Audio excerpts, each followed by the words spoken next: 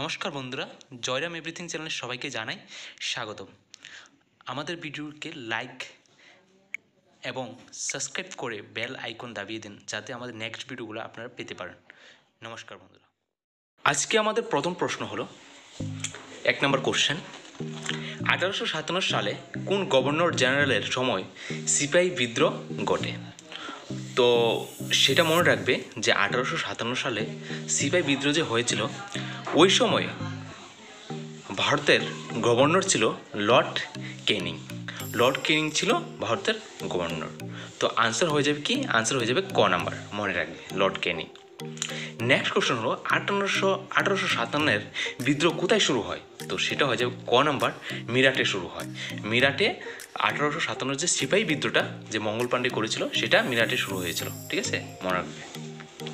Next question আঠারোশো আটান্ন পরবর্তী গভর্নর জেনারেল আঠারোশো আটান্নের আইন বলে কি নামে পরিচিত হলেন? সেটা হবে গভর্নর জেনারেল ও ভাইসরয়। আনসার ক নাম্বার।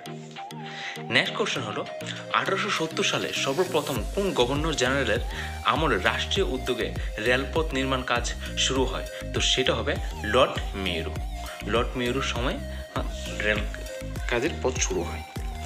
নেক্সট কোশ্চেন হলো আঠারোশো সাতাত্তর সালে ভারতের প্রথম শ্রমিক ধর্মঘট কোথায় হয়েছিল? সেটা হবে নাগপুর। নাগপুরে হয়েছিল। আঠারোশো আটাত্তর সালে দেশীয় ভাষায় সমপত্র আইন কে পাশ করান? Lord Lytton. আনসার গ number? Lord Lytton.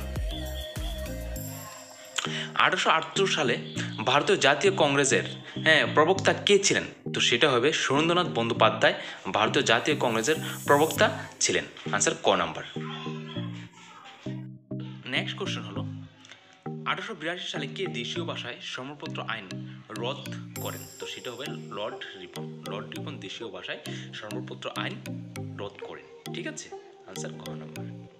Next question হলো আঠারোশো পঁচাশি সালে আঠাশে ডিসেম্বর অনুষ্ঠিত জাতীয় কংগ্রেসের প্রথম অধিবেশন কে সভাপতিত্ব করেন? তো সেটা হবে অমিতচন্দ্র ব্যানার্জি, জাতীয় কংগ্রেসের প্রথম সভাপতিত্ব করেন। মনে রাখবে অমিত উনিশশো ষাট, উনিশশো সাত সরি উনিশশো পাঁচ সালের বঙ্গভঙ্গের উদ্দেশ্য কি ছিল? তো সেটা হবে রাজনৈতিক সুবিধা।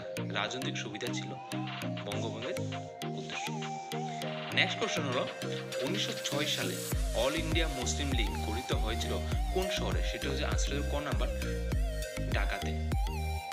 ঢাকাতে অল ইন্ডিয়া মুসলিম লীগ গঠিত হয়েছিল উনিশশো ছয় সালে।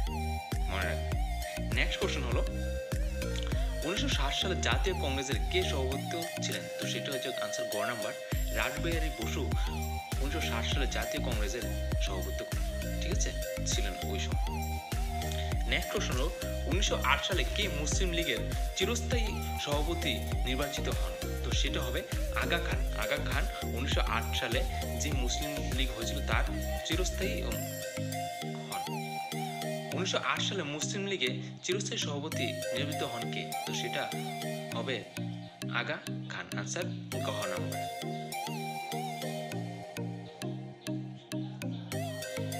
নেক্সট কোশ্চেন হলো উনিশশো তেরো সালে লালা হার্দেল মোহন সিং বাগনা প্রমুখ মার্কিন যুক্তরাষ্ট্রে কোন প্রতিষ্ঠান গড়ে তুলেছিলেন? তো সেটা হবে হিন্দুস্তান গদর সমিতি। আনসার ক নাম্বার। নেক্সট কোশ্চেন হলো উনিশশো পঁচানব্বই সালে জাপানে পালানোর সময় রাসবিহারী বসু কোন ছদ্মনাম গ্রহণ করেছিলেন? তো সেটা হবে পিএন ঠাকুর। পিএন ঠাকুর ছদ্মনাম ব্যবহার করেছিলেন রাসবিহারী বসু।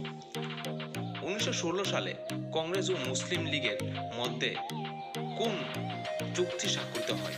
তো সেটা হবে লখনৌ চুক্তি। লখনৌ চুক্তি কংগ্রেস ও মুসলিম লীগের মধ্যে স্বাক্ষরিত হয়। উনিশশো সালে দিল্লিতে অনুষ্ঠিত খিলাফত কনফারেন্স সভাপতি কে করেছিলেন? তো সেটা হবে আবুল কালাম আজাদ। আনসার ক নাম্বার। উনিশশো একুশ সালে গত সারা ভারত খিলাফত কনফারেন্স কোথায় হয়? তো সেটা হচ্ছে গ নাম্বার কারাচিতে হয়। ঠিক আছে?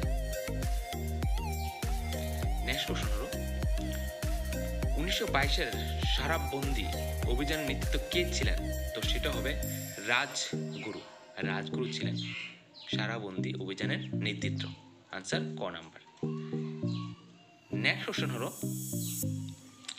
উনিশশো বাইশ এছাড়া বন্দি অভিযানের নেতৃত্ব কে দিয়েছিলেন? ঝাড়বন্দি সরি ঝাড়বন্দি হবে, সেটাও রাজগুরু হবে। রাজগুরু। উনিশশো বাইশ সালে গঠিত স্বরাজ পার্টির প্রথম সভাপতি কে?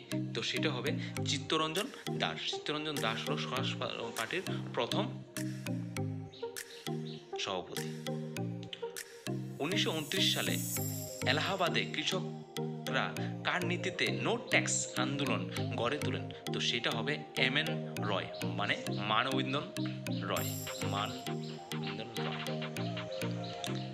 উনিশশো সাতচল্লিশ সালের বিশে ফেব্রুয়ারি ব্রিটিশ প্রধানমন্ত্রী অ্যাটলি কবে ভারতবর্ষে থেকে ব্রিটিশ আধিপত্য প্রত্যাহারের কথা বলেন? তো সেটা উনিশশো আটচল্লিশে জুন, উনিশশো আটচল্লিশের জুন, মনে রাখবেন।